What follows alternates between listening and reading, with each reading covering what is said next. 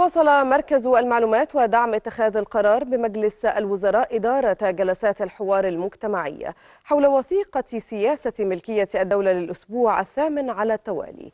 وخصص المركز جلسات هذا الأسبوع للنقاش حول قطاع الوساطة المالية والتأمين والصناعات الكيماوية والصناعات المعدنية في مصر. بالاستفادة من خبرات أكثر من 100 خبير وممثلا عن القطاع العام والخاص.